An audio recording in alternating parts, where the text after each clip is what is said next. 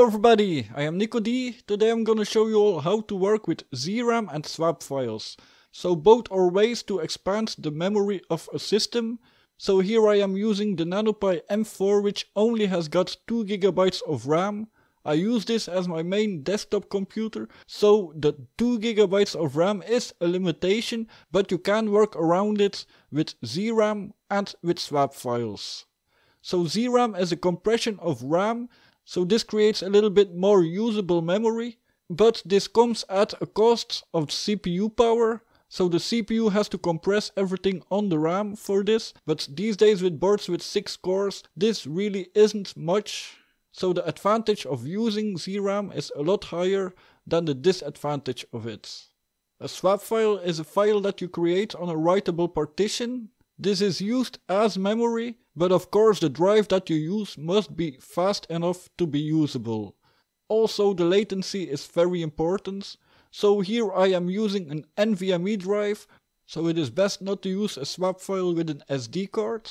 The biggest disadvantage of using a swap file is that it shortens the lifespan of an NVMe drive or SSD because of the many reads and writes. So here an example of why using a swap file can be very handy. I like to open a lot of tabs in my browser. Like here I am opening all the YouTube videos of that day. And as you can see it quickly fills up the RAM and the ZRAM. And then everything becomes very unresponsive and hard to work with.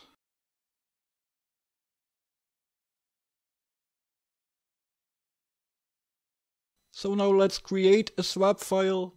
So here is my text file again, so you can download it in the description here below. All you have to do is written in there. So the first command is fallocate, so it creates a file of 8 gigabytes called swap file. You can make this the size you want yourself of course. If 4 gigabytes is enough for you then 4 gigabytes is okay. The second command is to give the correct rights to the swap file then make swap, that makes it a swap file.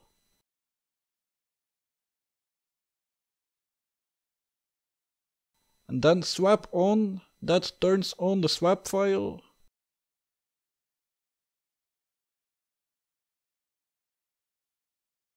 So as you see there is now 8.9 gigabytes of swap, so that is quite a lot more usable memory. With this I can do video editing with ease with the NanoPi M4 and I can open as many tabs as I want. Now we will edit fstab so it will automatically enable the swap file at boot.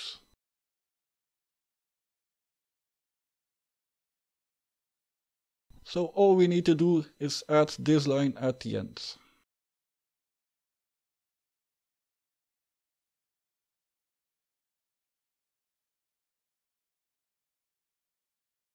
Press Ctrl X to save. Yes. So that is all we needed to do to create our swap file. So now let's do the test again with YouTube.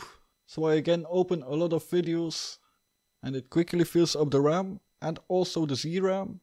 So now it is using the swap file also, but everything is still very responsive. You can still use everything like it should it's be. It's actually not the same electrical or mechanical setup from back then.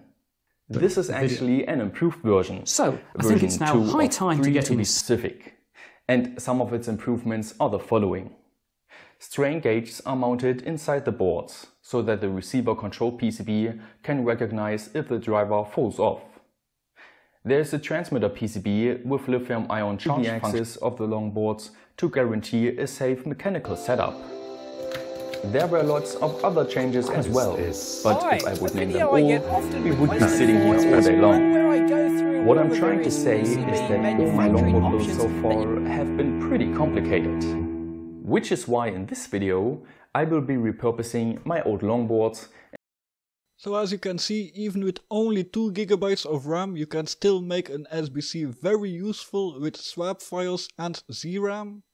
So to enable ZRAM it is very simple. Just type sudo apt install zram-config. That is all you need to do. I could go a lot deeper into this, but I'm gonna leave it with this. So thank you all for watching. I hope you'll like my video. See you all later. Bye.